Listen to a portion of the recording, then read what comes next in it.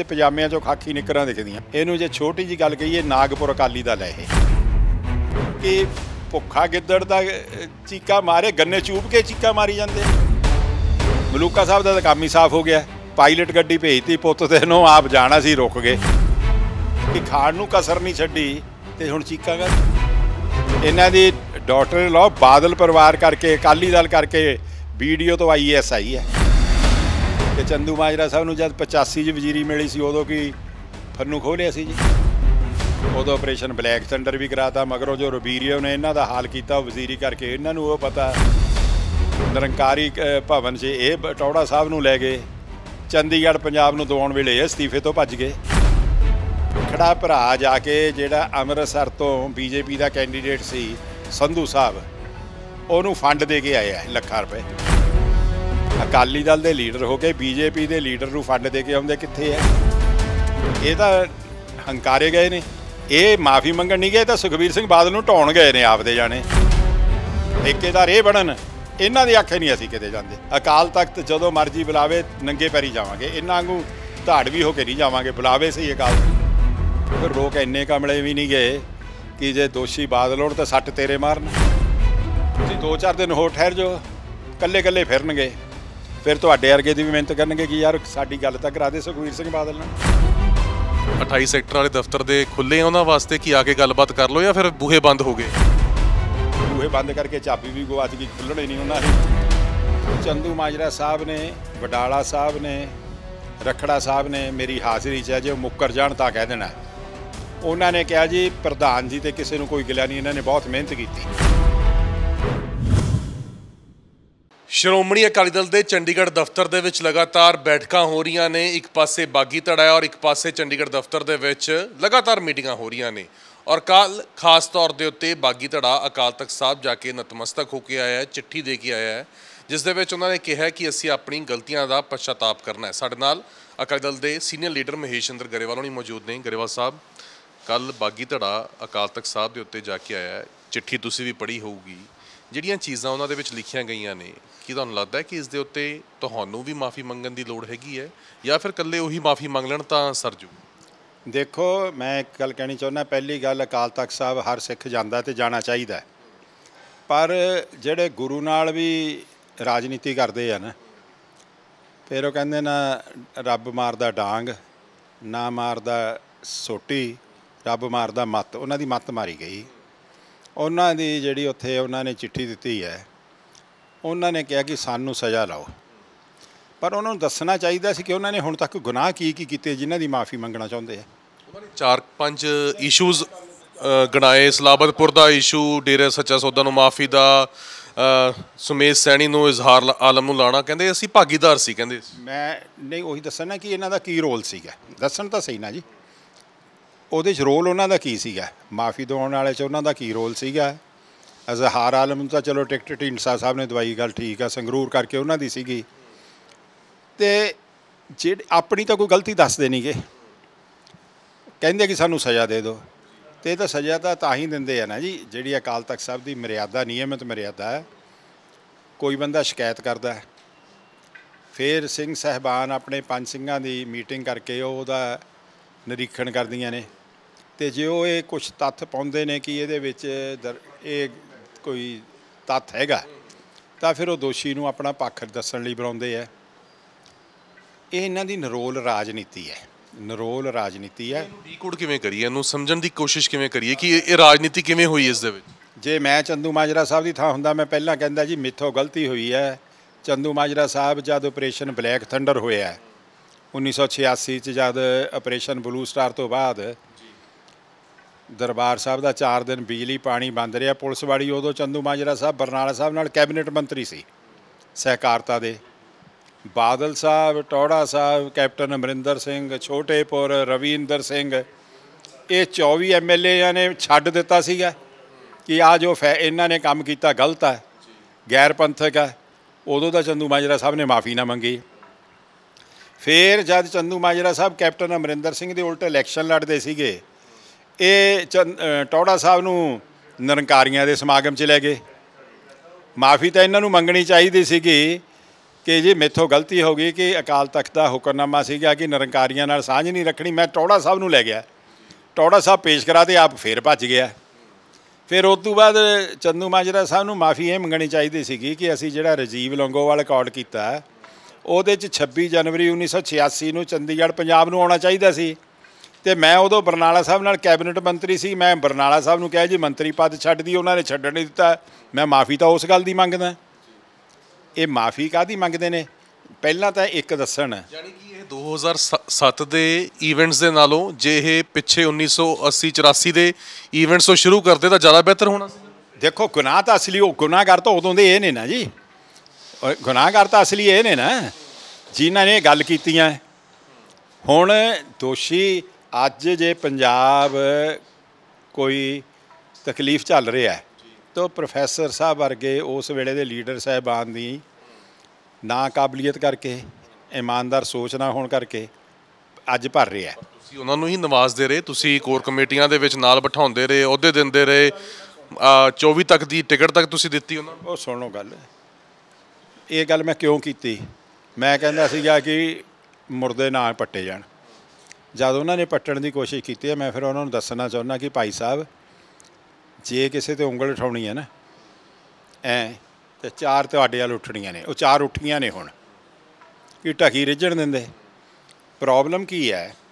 ਮੈਂ ਕਹਿੰਦਾ ਕਿ ਚੰਦੂ ਮਾਜਰਾ ਹੀ ਭਾਗੀਦਾਰ ਨੇ ਜਾਂ ਹੋਰ ਵੀ ਬੀਬੀ ਜਗੀਰ ਕੌਰ ਦਾ ਜ਼ਿਕਰ ਕਰਾਂ ਗੱਲ ਕਰਾਂਗੇ ਸਾਰਿਆਂ ਦੀ ਕਰਾਂਗੇ। ਸ਼ੁਰੂ ਉੱਥੋਂ ਕੀਤਾ ਨਾ ਜੀ ਅਗਲੇ ਡੱਬੇ ਤੋਂ ਸ਼ੁਰੂ ਕੀਤਾ ਨਾ। ਇੰਜਣ ਤਾਂ ਉਹਨਾਂ ਕੋਲ ਹੈ ਨਹੀਂ ਕੋਈ ਹਲੇ। ਮੈਂ ਇਹੀ ਬੇਨਤੀ ਕਰਨ ਲੱਗਾ ਕਿ ਪਹਿਲੀ ਗੱਲ ਜਿਸ ਦਿਨ ਕੋਰ ਕਮੇਟੀ ਦੀ ਮੀਟਿੰਗ ਹੋਈ ਉੱਥੇ ਆਵਾਜ਼ਾਂ ਉੱਠੀਆਂ। ਚੰਦੂ ਮਾਜਰਾ ਸਾਹਿਬ ਨੇ ਵਡਾਲਾ ਸਾਹਿਬ ਨੇ ਰਖੜਾ ਸਾਹਿਬ ਨੇ ਮੇਰੀ ਹਾਜ਼ਰੀ 'ਚ ਹੈ ਜੇ ਮੁੱਕਰ ਜਾਣ ਤਾਂ ਕਹਿ ਦੇਣਾ। ਉਹਨਾਂ ਨੇ ਕਿਹਾ ਜੀ ਪ੍ਰਧਾਨ ਜੀ ਤੇ ਕਿਸੇ ਨੂੰ ਕੋਈ ਗਿਲਾ ਨਹੀਂ ਇਹਨਾਂ ਨੇ ਬਹੁਤ ਮਿਹਨਤ ਕੀਤੀ। ਜਿਵੇਂ ਹੁਣ ਬਾਹਾਂ ਖੜੀ ਕਰ ਰਹੇ ਨੇ ਲੀਡਰ ਇਹਨਾਂ ਨੇ ਵੀ ਐਵੇਂ ਬਾਹਾਂ ਖੜੀਆਂ ਕੀਤੀਆਂ ਐਵੇਂ ਐਵੇਂ ਹੀ ਕਹੀਆਂ। ਮੂੰਹੋਂ ਖੜਾ ਕਹਿ ਕੇ ਇਹਨਾਂ ਨੇ ਕਿਹਾ ਕਿ ਲੋੜ ਆ ਆਪਾਂ ਨੂੰ ਨੀਤੀ ਬਣਾਉਣ ਦੀ। ਪ੍ਰੋਫੈਸਰ ਸਾਹਿਬ ਨੇ ਕਿਹਾ, ਸਾਡੀ ਨੀਤੀ ਨਹੀਂ ਸੀ ਕਲੀਅਰ ਕਿ ਅਸੀਂ ਇੱਧਰ ਆਂ ਕਿ ਇੱਧਰ ਆਂ ਜਿਹਦੇ ਕਰਕੇ ਸਾਡਾ ਨੁਕਸਾਨ ਹੋਇਆ। ਨੇਤਾ ਦਾ ਕੋਈ ਰੌਲਾ ਨਹੀਂ ਗਾ। ਅਗਲੇ ਦਿਨ ਨੇਤਾ ਦਾ ਰੌਲਾ ਪਾ ਲਿਆ। ਚਲੋ ਮੈਂ ਮੰਨ ਲਈ ਕਿ ਪ੍ਰੋਫੈਸਰ ਸਾਹਿਬ ਨੂੰ ਸਰਦਾਰ ਸੁਖਵੀਰ ਸਿੰਘ ਬਾਦਲ ਦੀ ਪ੍ਰਧਾਨਗੀ ਪ੍ਰਵਾਨ ਨਹੀਂ। ਮੰਨ ਲਓ, ਉਹਨਾਂ ਦੀ ਮਰਜ਼ੀ ਹੈ ਮੰਨਣ ਨਾ ਮੰਨਣ। ਸਰਦਾਰ ਸਾਹਿਬ, ਫਿਰ ਸੁਖਵੀਰ ਸਿੰਘ ਬਾਦਲ ਵਾਲੇ ਅਕਾਲੀ ਦਲ ਨੂੰ ਛੱਡ ਜੋ ਛੱਡ ਜੋ ਕਿਉਂ? ਤੁਹਾਨੂੰ ਮਜਬੂਰੀ ਤਾਂ ਨਹੀਂ ਕੋਈ? ਜੇ ਤੁਹਾਨੂੰ ਪ੍ਰਧਾਨ ਪਾਰਟੀ ਦਾ ਪਸੰਦ ਨਹੀਂ, ਛੱਡ ਜੋ ਛੱਡਦੇ ਕਿਉਂ ਨਹੀਂ? 15 ਦਾ ਸ਼ਿਕਾਇਤ ਕਰਦੇ ਆ 17 ਵਿੱਚ ਇਹਨਾਂ ਦਾ ਬੇਟਾ ਲੜਿਆ ਇਲੈਕਸ਼ਨ ਜਿੱਤਿਆ ਸਨੌਰ ਤੋਂ। 19 ਜੇ ਪਾਰਲੀਮੈਂਟ ਲੜੇ। ਹੈਂਜੀ ਹਾਰੇ 22 ਚ ਪਿਓ ਪੁੱਤ ਦੋਨੋਂ ਲੜੇ, ਘਨੌਰ ਸਨੌਰ ਦੋਨੋਂ ਹਾਰੇ 24 ਚ ਹਾਰੇ, ਚਾਰ ਇਲੈਕਸ਼ਨਾਂ ਲਗਾਤਾਰ ਹਾਰ ਕੇ ਤੇ ਸ- ਹਾਰੋ ਤੁਸੀਂ ਅਸਤੀਫਾ ਸੁਖਬੀਰ ਸਿੰਘ ਬਾਦਲ ਦੇਵੇ ਮੈਂ ਤਾਂ ਪਹਿਲੀ ਵਾਰ ਦੇਖੀ ਹੈ ਗੱਲ। ਹੈ? ਕਿ ਚੀਜ਼ ਨੂੰ ਅਸਤੀਫਾ ਮੰਗਦੇ ਹੋ? ਮੈਨੂੰ ਕਹਿਣ ਲੱਗੇ ਜੀ, ਬਾਦਲਾਂ ਤੇ ਔਖੇ ਆ ਲੋਕ। ਮੈਂ ਕਿਹਾ ਫਿਰ ਲੋਕ ਇੰਨੇ ਕਮਲੇ ਵੀ ਨਹੀਂ ਗਏ ਕਿ ਜੇ ਦੋਸ਼ੀ ਬਾਦਲ ਹੋਣ ਤਾਂ ਸੱਟ ਤੇਰੇ ਮਾਰਨ। ਲੋਕ ਤਾਂ ਸਿਆਣੇ ਆ ਨਾ। ਫੇਰ ਲੋਕ ਜੇ ਮੈਸੇਜ ਦੇਣਾ ਚਾਹੁੰਦੇ ਆ ਕਿ ਅਸੀਂ ਅਕਾਲੀ ਦਲ ਦੇ ਉਲਟ ਨਹੀਂ, ਅਸੀਂ ਬਾਦਲ ਪਰਿਵਾਰ ਦੇ ਉਲਟ ਆ, ਤਾਂ ਤੁਹਾਨੂੰ ਜਿਤਾਉਂਦੇ। ਤੇ ਬਾਦਲਾਂ ਨੂੰ ਹਰਾਉਂਦੇ, ਫਿਰ ਗੱਲ ਠੀਕ ਸਮਝ ਆਉਂਦੀ ਸੀ। ਬਾਦਲ ਤਾਂ ਉਹਨਾਂ ਨੇ 25000 ਵੋਟ ਪਿਛਲੀ ਵਾਰ ਨਾਲੋਂ ਵੀ ਵੱਧ ਤੇ ਜਿਤਾਤੇ। ਬਠਿੰਡੇ ਸੀਟ ਕਿਵੇਂ ਲੜੀ ਗਈ ਹੈ ਇਹ ਵੀ ਭਲੀ ਭਾਂਤ ਅਸੀਂ ਸਾਰੇ ਜਾਣਦੇ ਹਾਂ ਕਿਵੇਂ ਸਮਝੌਤੇ ਹੋ ਗਏ ਕਿਵੇਂ ਪੈਸੇ ਵੰਡੇ ਉੱਥੇ।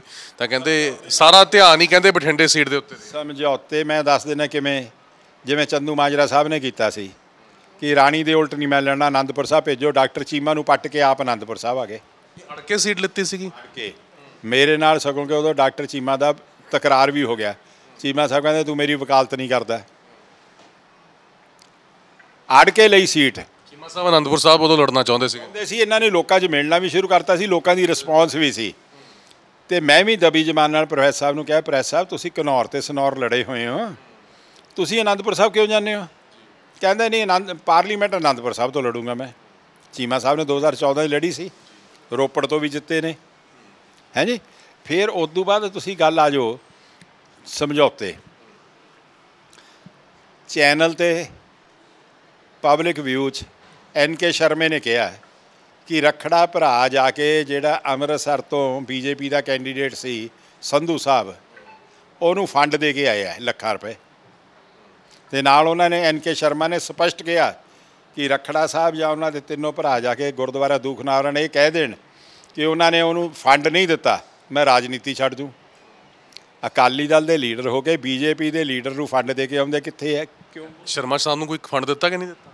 ਸ਼ਰਮਾ ਸਾਹਿਬ ਨੂੰ ਕਾਹਦਾ ਫੰਡ ਦੇਣਾ? ਸ਼ਰਮਾ ਸਾਹਿਬ ਤੋਂ ਤਾਂ ਮੰਗਦੇ ਹੋਣੇ ਆ ਕਿ ਤੁਸੀਂ ਅਮੀਰ ਆਦਮੀ ਹੋ। ਅੱਛਾ, ਫਿਰ ਤੁਸੀਂ ਦੇਖੋ ਹੋਰ ਗੱਲ। ਬੀਬੀ ਜੀ, ਚਲੋ ਮੈਂ ਤਾਂ ਸਿੱਖ ਧਰਮ ਹੀ ਨਹੀਂ ਕਹਿੰਦਾ ਕਿ ਬੀਬੀ ਤੇ ਕੋਈ ਗੱਲ ਕਹੀ ਜਾਂ ਮੈਂ ਕਹਿੰਦਾ ਵੀ ਨਹੀਂ ਸਤਿਕਾਰ ਕਰਦਾ। ਪਰ ਮੈਂ ਬੀਬੀ ਜੀ ਨੂੰ ਇੱਕ ਬੜੀ ਪੁੱਛਦਾ, ਸਿਨਮਰ ਬੇਨਤੀ ਕਰਕੇ ਕਿ ਇਕਬਾਲ ਸਿੰਘ ਲਾਲਪੁਰਾ ਤੁਹਾਡੀ ਵਕਾਲਤ ਕਿਉਂ ਕਰਦਾ ਹੈ? ਪਿਛਲੀ ਵਾਰ ਤੁਸੀਂ ਚੋਣ ਲੜੇ ਮੋਦੀ ਸਾਹਿਬ ਨੂੰ ਘਰ, ਲਾਲਪੁਰਾ ਸਾਹਿਬ ਨੇ ਕੀਰਤਨ ਤੇ ਬੁਲਾਇਆ ਸਰਕਾਰੀ ਘਰ 'ਚ। ਗੁਰੂ ਨਾਨਕ ਸਾਹਿਬ ਦਾ ਗੁਰਪੁਰਬ ਹੈ। ਤੇ ਉੱਥੇ ਫਿਰ ਬਾਹਰ ਜਿਹੜਾ ਤੁਸੀਂ ਕਟ ਆਊਟ ਲਾਉਨੇ ਹੋ, ਮੋਦੀ ਤੇ ਬੀਬੀ ਦਾ ਲਾਉਨੇ ਹੋ, ਜਦੋਂ ਸੁਲਤਾਨਪੁਰ ਲੋਧੀ ਆਇਆ ਸੀ। ਇਹੀ ਸੁਨੇਹ ਦੇਣ ਲਈ ਨਾ ਕਿ ਬੀਬੀ ਸਾਡੀ ਉਮੀਦਵਾਰ ਹੈ। ਠੀਕ ਹੈ ਨਾ ਜੀ? ਮਲੂਕਾ ਸਾਹਿਬ ਦਾ ਤਾਂ ਕੰਮ ਹੀ ਸਾਫ਼ ਹੋ ਗਿਆ। ਪਾਇਲਟ ਗੱਡੀ ਭੇਜਤੀ ਪੁੱਤ ਤੇ ਨੂੰ ਆਪ ਜਾਣਾ ਸੀ, ਰੁਕ ਗਏ। ਹੁਣ ਪ੍ਰੋਬਲਮ ਪਤਾ ਕੀ ਹੈ? ਉਹ ਕਹਿੰਦੇ ਮੈਂ ਤਾਂ ਗਿਆ ਨਹੀਂ ਨਾ। ਕਹਿੰਦੇ ਮੈਂ ਤਾਂ ਅਕਾਲੀ ਦਲ 'ਚ ਹੀ ਬੈਠਾ ਰਿਹਾ। ਕਹਿੰਦੇ ਮੈਂ ਤਾਂ ਨਾ ਉਹਨਾਂ ਵਾਸਤੇ ਪ੍ਰਚਾਰ ਕੀਤਾ ਨਾ ਕੋਈ ਉਹਨਾਂ ਵਾਸਤੇ ਕੰਮ ਕੀਤਾ। ਇਹ ਬਿਲਕੁਲ ਸਰਾਸਰ ਗਲਤ। ਦੋ ਦਿਨ ਪਹਿਲਾਂ ਵੋਟਾਂ ਤੋਂ ਮੋਦੀ ਸਾਹਿਬ ਦਾ ਕੀ ਤੇ ਉਹ ਜਾਗਿਆ ਸੀਗਾ ਕਿ 7 ਮਿੰਟ ਦੀ ਵੀਡੀਓ ਪਾਤੀ। ਕੀ ਤੇ ਉਹ ਜਾਗਿਆ ਸੀ ਜੀ? ਕਦੇ ਇਲੈਕਸ਼ਨਾਂ ਵਿੱਚ ਕਦੇ ਬਰਾਤ ਬੂਹੇ ਤੋਂ ਆਈ ਕੁੜੀ ਕਹਿੰਦੀ ਆ ਕਿ ਮੇਰਾ ਫਲਾਨਾ ਦੋਸਤ ਸੀਗਾ। ਉਹ ਤਾਂ ਉਹ ਕਹੀ ਜਾਂਦੇ ਮੋਦੀ ਬਹੁਤ ਵਧੀਆ ਆਦਮੀ ਆ ਇਹਨੂੰ ਜਿਤਾਓ ਆਪਣੇ ਕੰਮ ਕਰੂ। ਉਹ ਕਾਲੀ ਲੀਡਰ ਨੇ। ਇਦੋਂ ਇਦੋਂ ਡਿਸਓਨੈਸਟ ਪੋਲੀਟੀਕਲ ਅਪਰੋਚ ਕੀ ਹੋ ਸਕਦੀ ਹੈ? ਅਫਸੋਸ ਇਹ ਹੈ ਕਿ ਇੰਨੇ ਫਾਇਦੇ ਲੈ ਕੇ, ਇੰਨੇ ਫਾਇਦੇ ਲੈ ਕੇ। ਸਾਹ ਜੀ, ਵੀਡੀਓ ਦੇ ਵੀਡੀਓ ਰਿਟਾਇਰ ਹੋਏ ਨੇ। ਇਹਨਾਂ ਦੀ ਡਾਟਰ ਲਾ ਬਾਦਲ ਪਰਿਵਾਰ ਕਰਕੇ, ਅਕਾਲੀ ਦਲ ਕਰਕੇ ਵੀਡੀਓ ਤੋਂ ਆਈਐਸ ਆਈ ਹੈ। ਹੀ ਇੰਟਰਵਿਊ ਕਰ ਰਿਹਾ ਸੀ, ਮੈਂ ਪੁੱਛਿਆ ਹੀ ਇਹ ਸਵਾਲ, ਮੈਂ ਕਿਹਾ ਉਹ ਕਹਿੰਦੇ ਕਿ ਬਾਦਲਾਂ ਨੇ ਤੁਹਾਡੀ ਨੂੰਹ ਨੂੰ ਆਈਐਸ ਬਣਾਤਾ, ਕਹਿੰਦੇ ਉਹ ਤਾਂ ਆਪਣੀ ਕੈਪੇਬਿਲਿਟੀ ਕਰਕੇ ਬਣੇ ਆ, ਉਹਨਾਂ ਨੇ ਇਮਤਿਹਾਨ ਪਾਸ ਕੀਤੇ, ਪੇਪਰ ਪਾਸ ਕੀਤੇ, ਤਾਂ ਬਣੇ ਆ, ਕਹਿੰਦੇ ਬਾਦਲਾਂ ਦਾ ਕੋਈ ਇਸ 'ਚ ਕ੍ਰੈਡਿਟ ਨਹੀਂ ਅਫਸੋਸ, ਇਹ ਅਲਾਈਡ ਸਰਵਿਸਿਜ਼ ਵਿੱਚੋਂ ਜਿਹੜੇ ਪ੍ਰਮੋਸ਼ਨ ਹੁੰਦੀ ਆ ਆਈਐਸ ਉਹਦਾ ਕੋਈ ਇਮਤਿਹਾਨ ਨਹੀਂ ਹੁੰਦਾ। ਉਹਦੇ ਪਹਿਲਾਂ ਦਾ ਕਹਿ ਕੇ ਅਫਸਰਾਂ ਨੂੰ ਤਿੰਨ ਰਿਪੋਰਟਾਂ ਐਕਸੀਲੈਂਟ ਕਰਾਉਣੀਆਂ ਪੈਂਦੀਆਂ ਨੇ। ਫਿਰ ਉਹਨਾਂ ਦਾ ਨਾਮ ਯੂਪੀਐਸਸੀ ਕੋਲ ਭੇਜਿਆ ਜਾਂਦਾ। ਉਹ ਫਾਰਮਲ ਇੰਟਰਵਿਊ ਕਰਦੇ ਨੇ। 99.99% ਜਿਹੜੇ ਨਾਂ ਭੇਜੇ ਇਹਨਾਂ ਦੇ ਮਨਜ਼ੂਰ ਹੁੰਦੇ ਆ। ਇਹਨਾਂ ਦੇ ਨਾਲ ਅਟਵਾਲ ਸਾਹਿਬ ਦਾ ਮੁੰਡਾ ਵੀ ਸੀਗਾ? ਇਹਦੇ ਨਾਲ ਕਾਲੋਂ ਸਾਹਿਬ ਦਾ ਮੁੰਡਾ ਸੀ। ਉਹ ਸਾਡੇ ਗੁੱਸੇ ਵੀ ਹੋ ਗਏ। ਉਹਨਾਂ ਦਾ ਬੇਟਾ ਡਾਕਟਰੀ ਤੋਂ ਆਈਐਸ ਬਣਨਾ ਚਾਹੁੰਦਾ ਸੀਗਾ। ਉਹ ਫਿਰ ਉਦੋਂ ਬਾਅਦ ਬਣਿਆ। ਮੇਰਾ ਅਫਸੋਸ ਇਹ ਹੈ ਕਿ ਭੁੱਖਾ ਗਿੱਦੜ ਦਾ ਚੀਕਾ ਮਾਰੇ ਗੰਨੇ ਚੂਪ ਕੇ ਚੀਕਾ ਮਾਰੀ ਜਾਂਦੇ। ਹੈਰਾਨੀ ਦੀ ਤਾਂ ਗੱਲ ਇਹ ਹੈ ਕਿ ਖਾਣ ਨੂੰ ਕਸਰ ਨਹੀਂ ਛੱਡੀ। ਤੇ ਹੁਣ ਚੀਕਾਂ ਕਾਹਦੀਆਂ? ਕਹਿੰਦੇ ਅਸੀਂ ਵੀ ਕਸਰ ਕਾਲੀਆਂ ਵਾਸਤੇ ਨਹੀਂ ਛੱਡੀ ਕਹਿੰਦੇ ਮੈਂ ਪ੍ਰਕਾਸ਼ ਸਿੰਘ ਬਾਦਲ ਉਹਨਾਂ ਦਾ ਗਨਮੈਨ ਰਹਿ ਕੇ ਨਾਲ ਕਹਿੰਦੇ ਕੰਮ ਕੀਤਾ ਐਵੇਂ ਚੱਲਿਆ ਕਹਿੰਦੇ ਨਾਲ ਜਿਵੇਂ ਗਨਮੈਨ ਚੱਲਦੇ। ਬਾਦਲ ਸਾਹਿਬ ਨਾਲ ਤਾਂ ਕਿੰਨੇ ਗਨਮੈਨ ਰਹੇ ਆ ਕਿੰਨੇ ਚ ਕਿੰਨੇ ਵਜ਼ੀਰ ਬਣਾਤੇ ਉਹਨਾਂ ਨੇ ਜੀ ਦੱਸਣਾ। ਆ ਹੁਣ ਵੀ ਬਾਦਲ ਸਾਹਿਬ ਨਾਲ ਜਿਹੜਾ ਐਸਪੀ ਆ ਉਹਨੂੰ ਕੱਲ ਨੂੰ ਫਿਰ ਡੀਜੀਪੀ ਲਾ ਦੇਣਗੇ ਸੁਖਬੀਰ ਜੀ ਚੀਫ ਮਿਨਿਸਟਰ ਬਣ ਕੇ। ਵੱਡੇ ਬਾਦਲ ਸਾਹਿਬ ਦਾ ਜ਼ਿਕਰ ਕਰਦੇ ਸੀ ਉਹ ਮਲੂਕਾ ਜੀ ਵੱਡੇ ਬਾਲ ਸਾਹਿਬ ਦਾ ਵੀ ਪਹਿਲੀ ਤਾਂ ਗੱਲ ਗਨਮੈਨ ਰਹੇ ਨਹੀਂ। ਉਹਨਾਂ ਨਾਲ ਗਨਮੈਨ ਦੋ ਹੁੰਦੇ ਸੀ, ਜ਼ੋਰਾ ਸਿੰਘ ਮਾਨ ਤੇ ਗਰ- ਮਾਨ ਸਿੰਘ ਗਰਚਾ। ਇਹ ਕਦੇ ਨਹੀਂ ਰਹੇ। ਚਲੋ, ਜੇ ਹੈ ਤਾਂ ਉਦੋਂ ਬਾਅਦ ਤੁਹਾਨੂੰ ਪੰਜ ਵਾਰੀ ਐਮਐਲਏ ਦੀ ਟਿਕਟ ਦਿੱਤੀ, ਤਿੰਨ ਵਾਰੀ ਤੁਸੀਂ ਹਾਰੇ, ਦੋ ਵਾਰੀ ਜਿੱਤੇ। ਫਿਰ ਦੋ ਵਾਰੀ ਮੰਤਰੀ ਬਣੇ। ਮੰਤਰੀ ਬਣਦਿਆਂ ਰੌਲੇ ਪੈਂਦੇ ਰਹੇ, ਫਿਰ ਬਚਾਅ ਕੀਤਾ ਤੁਹਾਡਾ। ਨੋ ਬੇਟ, ਰਾਣੀ ਨੂੰ ਆਈਐਸ ਬਣਾਇਆ, ਮੁੰਡੇ ਨੂੰ ਜ਼ਿਲ੍ਹਾ ਪਰਿਸ਼ਦ ਦਾ ਚੇਅਰਮੈਨ ਬਣਾਇਆ। ਬਾਕੀ ਮੈਂ ਨਹੀਂ ਕਹਿੰਦਾ ਬਠਿੰਡੇ ਨੂੰ ਪੁੱਛ ਲਓ ਕਿ ਕਿੱਥੋਂ ਕਿੱਥੇ ਰੱਬ ਨੇ ਪਹੁੰਚਾਤਾ ਅਕਾਲੀ ਦਲ ਦੀ ਕਿਰਪਾ ਨਾਲ। ਪਰ ਜਿਹੜੇ ਮੁੱਦੇ ਕੱਲ ਚਿੱਠੀ 'ਚ ਲਿਖੇ ਉਹ ਚਿੱਠੀ 'ਚ ਜਿਹੜੇ ਲਿਖੇ ਹੋਏ ਮੁੱਦੇ ਆ ਉਹ ਤੁਹਾਨੂੰ ਕਿੰਨੇ ਕੁ ਵੈਲਿਡ ਨਜ਼ਰ ਆਉਂਦੇ ਨੇ? ਹਾਲਾਂਕਿ ਇਹ ਇਸ਼ੂਜ਼ ਤਾਂ ਉਹੀ ਨੇ ਜਿਹੜੇ ਬਾਰ-ਬਾਰ ਚਰਚਾ ਦੇ ਵਿੱਚ ਆ ਜਾਂਦੇ ਨੇ ਔਰ ਬਾਰ-ਬਾਰ ਲੋਕੀ ਵੀ ਇਹੀ ਕਹਿੰਦੇ ਨੇ ਕਿ ਇੰਨਾ ਕਰਕੇ ਹੀ ਇੱਕ ਵੱਡੀ ਜਿਹੜੀ ਮਾਰ ਆ ਉਹ ਅਕਾਲੀ ਦਲ ਨੂੰ ਪਈ ਹੈ। ਮੈਂ ਤੁਹਾਨੂੰ ਗੱਲ ਦੱਸਾਂ ਪਹਿਲੀ ਗੱਲ। ਮੇਰਾ ਖਿਆਲ ਹੈ ਕਿ ਇਦੋਂ ਘਟੀਆ ਸਿੱਖ ਦੀ ਕਿਸੇ ਦੀ ਸੋਚ ਨਹੀਂ ਹੋਣੀ ਕਿ ਜੇ ਅਕਾਲ ਤਖਤ ਕਿਸੇ ਦੇ ਚਲਾਇਆ ਚੱਲਦਾ ਉਹਨਾਂ ਨੇ ਸਿੱਧਾ ਅਕਾਲ ਤਖਤ ਦੀ ਸਰਵਉੱਚਤਾ ਤੇ ਹਮਲਾ ਕੀਤਾ ਪਹਿਲੀ ਗੱਲ। ਦੂਸਰੀ ਗੱਲ ਉਹ ਕਹਿੰਦੇ ਇਹਨਾਂ ਨੇ ਕੇਸਾਂ ਦਾ ਫੈਸਲਾ ਨਹੀਂ ਕੀਤਾ। ਮਲੂਕਾ ਸਾਹਿਬ, ਚੰਦੂ ਮਾਜਰਾ ਸਾਹਿਬ, ਇਹਨਾਂ ਦੀਆਂ ਵੀਡੀਓ ਸੁਣ ਲਓ ਕਿ ਇਹ ਵਾਕਿਆ ਹੋਣ ਤੋਂ 21 ਦਿਨ ਬਾਅਦ ਕੈਪਟਨ ਸਾਹਿਬ ਦੇ, ਕੇਜਰੀਵਾਲ ਸਾਹਿਬ ਦੇ ਦਾਦੂਵਾਲ ਐਂਡ ਕੰਪਨੀ ਦੇ ਰੌਲਾ ਪਾਉਣ ਤੇ ਕੇਸ ਸੀਬੀਆਈ ਕੋਲ ਚਲੇ ਗਏ। ਪੰਜਾਬ ਸਰਕਾਰ ਕਿੱਥੋਂ ਫੈਸਲਾ ਕਰ ਦਿੰਦੀ ਜੀ?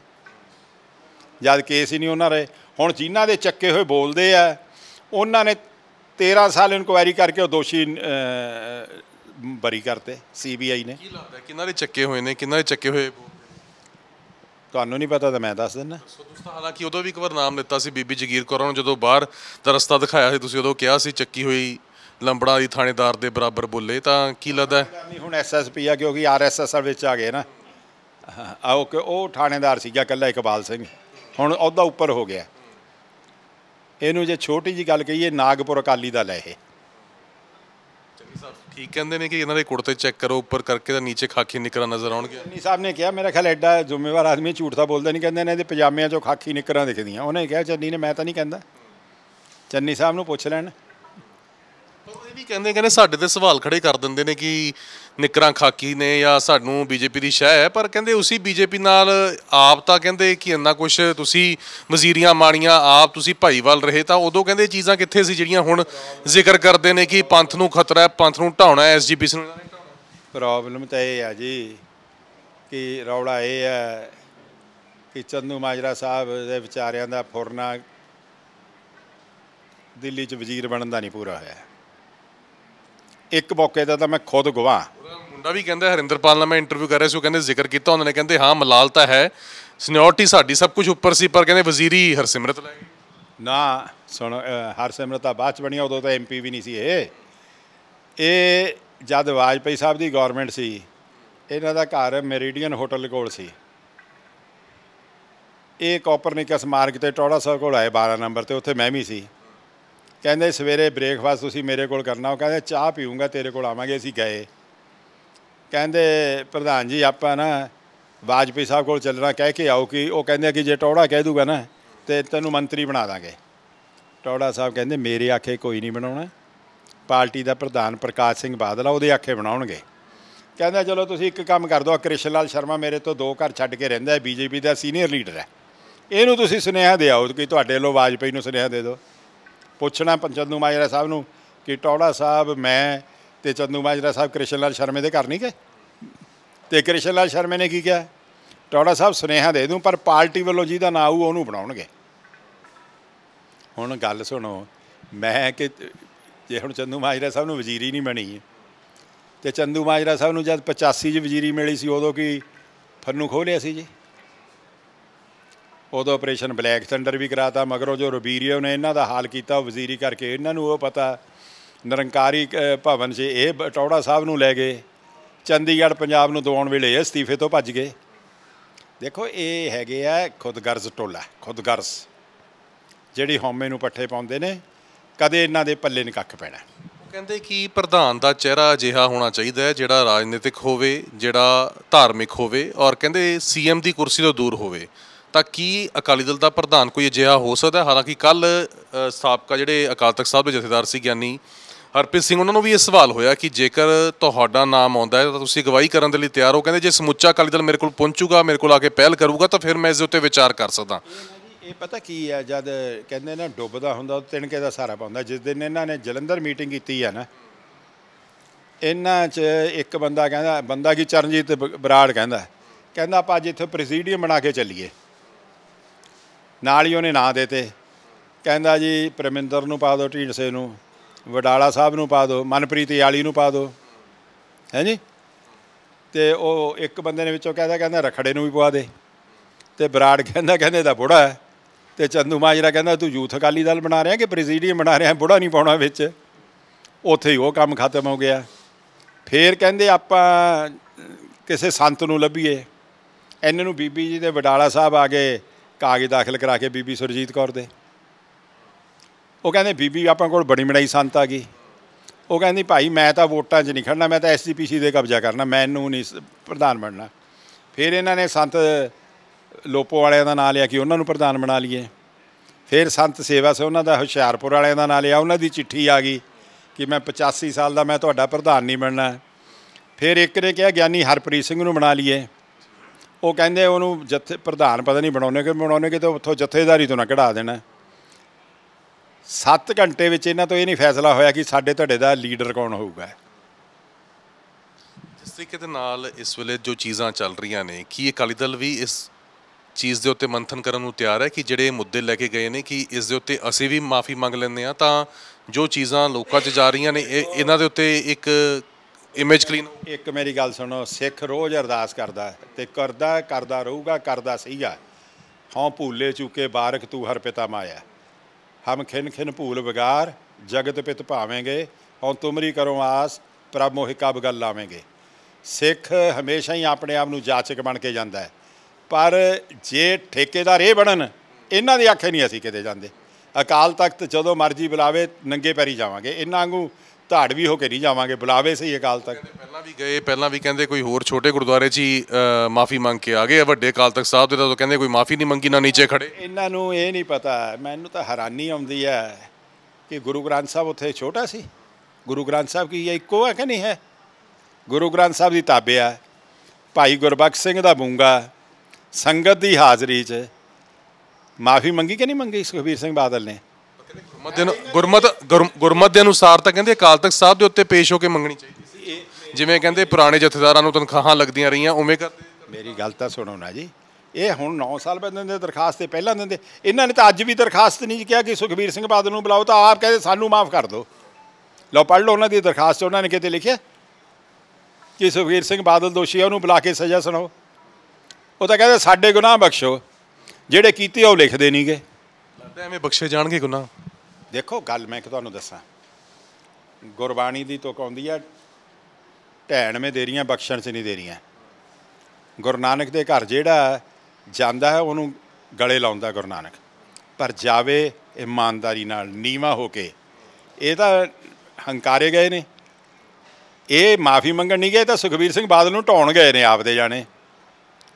ਤੇ ਇਹਨਾਂ ਦਾ ਖਿਆਲ, ਰੱਬ ਜੇ ਭੋਲਾ ਤਾਂ ਰੱਬ ਚਤਰ ਵੀ ਬੜਾ ਹੈਗਾ। ਢਾਉਣ 'ਚ ਸ- ਕਾਮਯਾਬ ਹੋ ਸਕਣਗੇ ਕਿ ਨਹੀਂ ਹੋਣ ਦੇਖੋ ਜਿੰਨਾ ਚਿਰ ਆਹ ਸੂਰਜ ਤੇ ਚੰਦ ਹੈ ਤੇ ਤਾਰੇ ਨੇ ਉਨੀ ਦੇਰ ਤਾਂ ਇਹਨਾਂ ਦਾ ਕੁਝ ਬਣਨਾ ਨਹੀਂਗਾ ਕੱਲ ਨੂੰ ਨਵਾਂ ਸੂਰਜ ਆ ਜੇ ਨਵੇਂ ਚੰਦ ਆ ਜਾਣ ਨਵੇਂ ਤਾਰੇ ਆ ਜਾਣ ਨਵੀਂ ਧਰਤੀ ਆ ਜੇ ਫੇਰ ਸ਼ਾਇਦ ਬਣ ਜੇ। ਕੱਲ ਤਿੰਨ ਲੀਡਰਾਂ ਦੀ ਗੈਰ ਹਾਜ਼ਰੀ ਵੀ ਉੱਥੇ ਨਜ਼ਰ ਆਈ। ਕੀ ਲੱਗਦਾ ਕਿ ਉਹ ਕਿਉਂ ਨਹੀਂ ਪਹੁੰਚੇ? ਤੁਸੀਂ 2-4 ਦਿਨ ਹੋਰ ਠਹਿਰ ਜਾਓ ਕੱਲੇ ਕੱਲੇ ਫਿਰਨਗੇ। ਫਿਰ ਤੁਹਾਡੇ ਵਰਗੇ ਦੀ ਵੀ ਮਿਹਨਤ ਕਰਨਗੇ ਕਿ ਯਾਰ ਸਾਡੀ ਗੱਲ ਤਾਂ ਕਰਾ ਦੇ ਸੁਖਵੀਰ ਸਿੰਘ ਬਾਦਲ ਨਾਲ। ਸਾਰ ਜੀ ਤੁਸੀਂ ਸੋਸ਼ਲ ਮੀਡੀਆ ਤੇ ਲੋਕ ਪੜੋ ਉਹ ਇਹੋ ਜਿਹੇ ਬੰਦੇ ਆ ਜਿਹੜੇ ਸੁਖਬੀਰ ਜੀ ਨੂੰ ਮਨ-ਮਨ ਗਾਲਾਂ ਕੱਢਦੇ ਸੀ ਕਹਿੰਦੇ ਸੁਖਬੀਰ ਸਿੰਘ ਹੁਣ ਗਲਤੀ ਨਾ ਕਰੀ, ਇਹਨਾਂ ਦੇ ਆਖੇ ਨਾ ਛੱਡਦੀ ਕਦੇ ਉਹ ਬਾਬਾ ਪਤਾ ਨਹੀਂ ਕਿ ਹਰੀ, ਕੀ ਨਾ ਹਰੀ ਸਿੰਘ ਕੇ ਕੀ ਨਾ ਬੂਟਾ ਸਿੰਘ। ਉਹ ਕਹਿੰਦਾ, ਮੈਂ ਜਿੰਨੀਆਂ ਸੁਖਬੀਰ ਨੂੰ ਗਾਲਾਂ ਕੱਢ ਸਕਦੇ ਕੱਢੀਆਂ, ਪਰ ਇੱਕ ਗੱਲ 'ਚ ਸੁਖਬੀਰ ਤੇਰੇ ਨਾਲ ਆ, ਛੱਡੀ ਨਾ ਇਹਨਾਂ ਦੇ ਆਖੇ। ਇਹ ਡਕੈਤ ਨੇ, ਉਹਨੇ ਇੱਥੇ ਤੱਕ ਲਫ਼ਜ਼ ਵਰਤਿਆ।